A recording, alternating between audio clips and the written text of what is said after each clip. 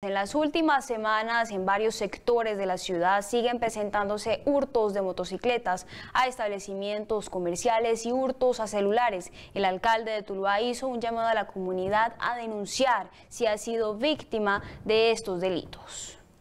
Que nos tengan paciencia, seguimos trabajando duro, seguimos diversificando estrategias de seguridad, seguimos esperando más denuncias para poder mover el aparato judicial.